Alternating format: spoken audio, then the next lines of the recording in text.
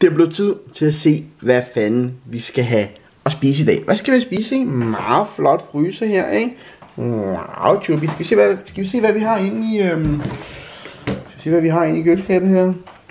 Øh, yes. Jamen, øhm, det er jo lækkert jo. Æbler jo, og druer, og så en Danimino her, ikke?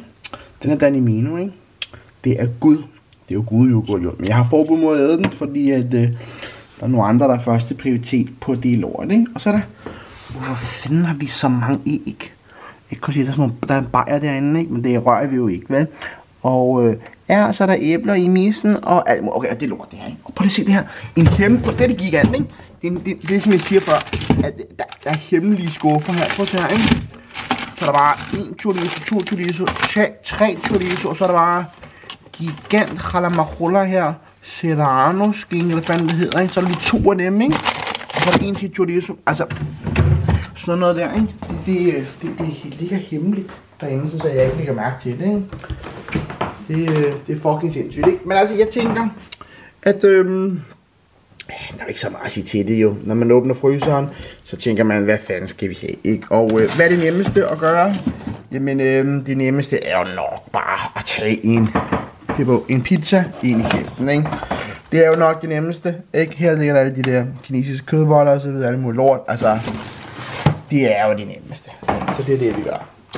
Det er det, vi gør, Beppe. Det er det nemmeste i kæften. Det handler om at connecte nemheden. Det handler om at connecte lækkerheden, ikke? Det er det, det handler om.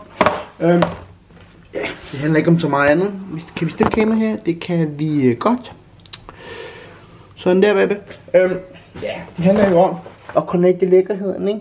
Øhm, altid skal være det nemmeste, ikke? Det er derfor, vi spiser pizza. Det er jo ikke fordi, vi har lyst til at fucking spise en pizza hver evig eneste dag. Det er jo ikke noget, vi har lyst til. Det handler om, at det skal være nemt og gigant, ikke? Øhm, så det gør vi, ikke? Stille og roligt. God content på drengen her. Ja tak. Fars øh, frysemis her.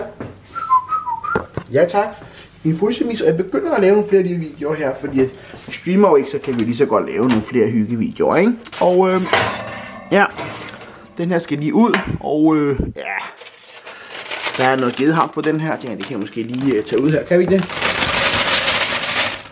Ja, det er fint nok. Der er lidt ekstra. Jeg, jeg, kan ikke, altså, jeg har kun én hånd. Jo, jeg er jo helt vildt. Jeg er klar, hvor svært det er, når man kun har én hånd, baby. Jeg er klar, hvor svært det er, ikke? Så tager vi frysepizzaen med den anden hånd her. Ja, tak. Sådan der, ikke? Og jeg tænker ikke, vi skal putte noget ekstra på. Ikke noget ekstra ost eller noget ekstra gedehams på. Man kunne godt kun ikke sådan en pølse og skære den ud i 80 stykker og fyre den op, ikke? Godt, ind med den her missekat. Og så som altid, ikke? I, I ved det jo, det er jo Siemens, uh, en Siemens ovn jo. Det er jo meget vigtigt jo, ikke? Og så trykker vi uh, på on off herover. Ja tak. Bup. Hov. Sådan der, ikke? Og så trykker man bare start.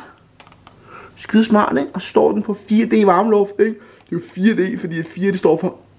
Og så smider vi op på 190, fordi det ligger, ikke? Så får den cirka 20 minutter, og så er den færdig, ikke? Mit navn, det er Pizza Guden, og så ses vi bagefter til Drakes pizzaspisning. Hej!